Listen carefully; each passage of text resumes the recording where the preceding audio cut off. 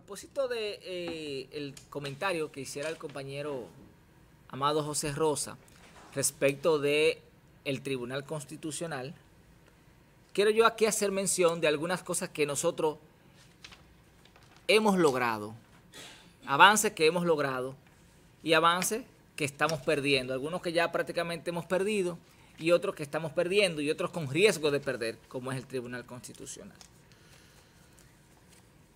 Quizás la gente cuando, cuando tiene una necesidad y luego esa necesidad es cubierta o suplida, ya le deja de dar importancia. Por ejemplo, la gente que vive por aquí, por el sector Sánchez, eh, Bonito, donde pasa la Cañada Grande, estoy hablando de San Francisco de Macorís, ya seguro poco le importa que llueva o que no llueva, porque ya no se inundan. Eso fue una ganancia que de una obra que hizo este gobierno a través del INDRI, eh, Olmedo Cava ya no se inundan sus casas, me imagino que ya para ellos será poco importante hasta que volviera a ocurrir.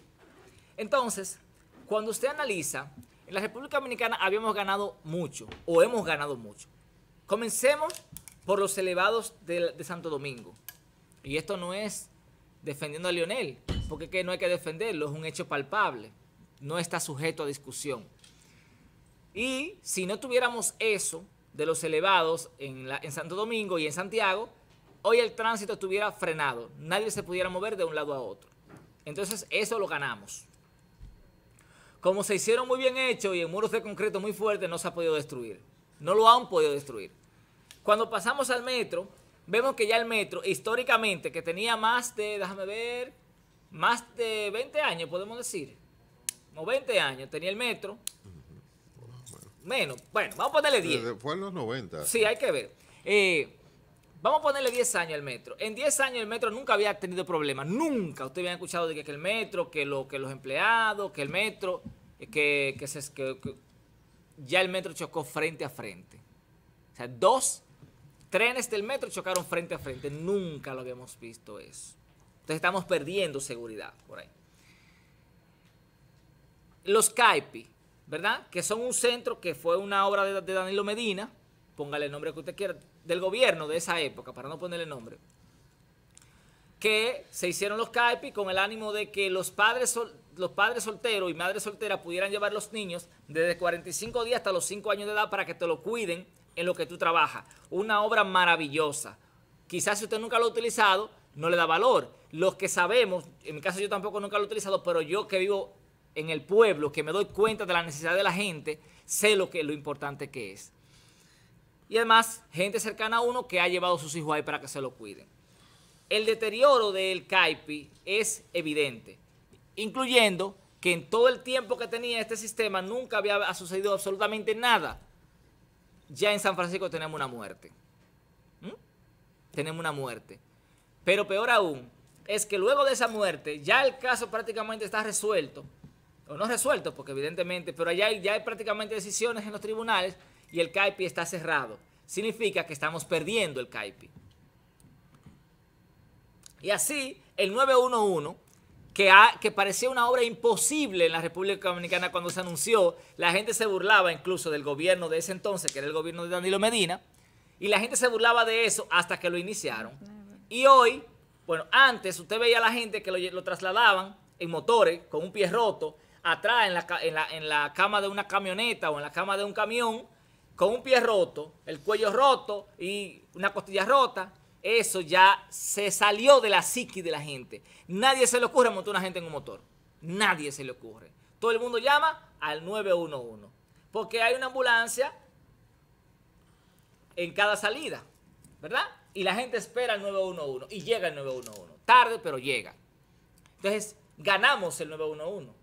Pero ya, ya hay mucha denuncia de que muchas de las unidades se están perdiendo. Entonces estamos perdiendo el 911 que lo habíamos ganado.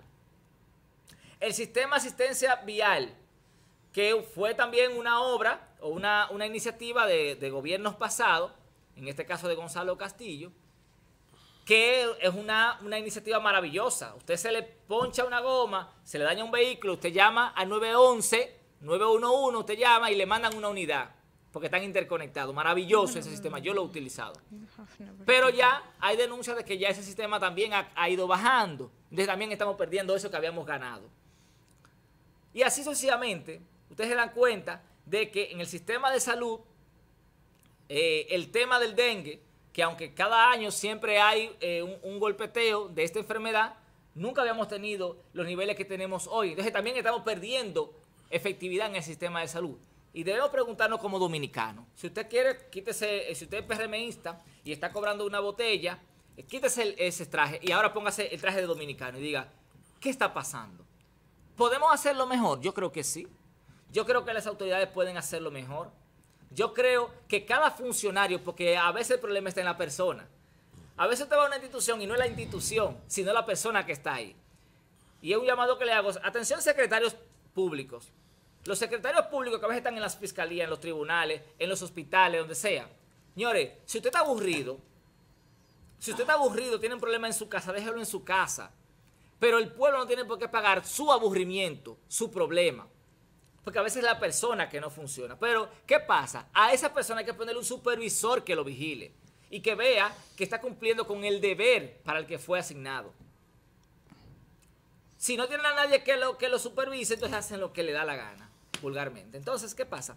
Tenemos que ver, como dominicanos, hacer un llamado de atención al gobierno. No podemos dejar que las cosas que ya hemos ganado la perdamos. Nosotros no podemos perder lo que ya hemos ganado. Y aquí, aquí viene la pregunta. ¿Qué hemos ganado? ¿Qué hemos perdido? ¿Y qué estamos perdiendo? Y digo, hemos perdido el CAIPI de aquí de San Francisco. Lo perdimos porque está cerrado. Entonces lo perdimos. Y no se escucha eh, anoten la fecha, Pedro, porque mañana anuncian, se va a abrir el CAIPI. Lo estamos denunciando hace tiempo, porque ese CAIPI está cerrado, lo perdimos. Una obra maravillosa. Pero ya está advirtiendo el presidente del Tribunal Constitucional, que era lo que decía Amado, que ese tribunal no puede caer en manos de grupos económicos, porque ahí está la garantía de los derechos fundamentales, señores, de la Constitución de la República Dominicana. Ustedes no se imaginan las tropelías que se cometían aquí en este país. Para mencionarle un caso, la mujer eh, casada, cuando se divorciaba no se podía casar hasta los nueve meses. ¿Pero qué es esto? ¿Pero qué disparate es ese? Y el Tribunal Constitucional lo eliminó. Así, muchísimas tropelías y abusos que se cometían utilizando la ley. Óigame eso, amparándose en una ley. Tropelías legales. Sí, tropelías legales. y el Tribunal Constitucional la ha ido eliminando una por una. Incluyendo que tú no podías solicitar con más de 45 años 45, eh, 50, no sé. Eh, tú no podías solicitar trabajo en la UAS como maestro. Se eliminó también. lo quitaron? Lo quitaron, ya ah, eh, el Tribunal Constitucional lo eliminó porque eso es discriminación. Una gente con 80 años, si tiene posibilidad de trabajar, tiene derecho a trabajar porque el, derecho a trabajo es un derecho fundamental. Que a nivel privado no te dan trabajo. No te lo dan, no te lo dan. Pero el Tribunal Constitucional ha establecido que no puede existir discriminación. Así lo, así lo dice la Constitución. Entonces, señores, más que criticar al gobierno, es que nosotros nos pongamos el traje de dominicanos. Ustedes que siempre el día de la independencia viven subiendo banderitas. De ridículo, porque ¿qué pasa? Si usted realmente no se siente dominicano, usted no defiende su patria y no defiende a su gente, usted no es dominicano nada. Usted es un cualquiera. Usted, vamos a ponernos todo el traje dominicano y a defender nuestra patria. Pero ¿cómo se defiende nuestra patria? Es trabajando duro aquí en este país. Y es defendiendo las instituciones y es denunciando las cosas malas independientemente de quién vengan porque si no, no vamos a tener un mejor país. No decía Juan Pablo Duarte, usted que pone la banderita el 27 y el 16 de agosto. Y no era eh, Juan Pablo Duarte que decía que mientras no se escamiente a los malos dominicanos, ¿verdad? Eh, a los traidores y a, los que se portan mal, para decirlo de manera llana, los buenos dominicanos siempre serán víctimas de su maquinación. Entonces vamos a denunciarlo. Vamos a castigar a esos malos dominicanos. Y desde aquí el llamado al gobierno, por favor, lo que hemos ganado, no lo tiremos por la borda. Mejor sigamos sumando cosas, como por ejemplo la ampliación de la avenida. Eh, eh, no, la, la, ya. ¿Cómo se llama eso? La Antonio Guzmán Fernández. No, no, la, que está fuera de La autopista Duarte. La autopista Duarte. La autopista Duarte. La, ampliación que me parece que es la obra más maravillosa del gobierno de Luis Abinader. O sea, una obra propia de ellos. Me parece que es una obra genial porque eso va a abrir el tránsito en esa zona. Me parece una obra genial pues entonces vamos a seguir ganando cosas y no perdiendo, presidente. Por favor. Bueno, ahí está el tema. Muchísimas gracias, Yerjan Por favor, pero no por favor, ¿eh? No, Nosotros, es un deber, deber.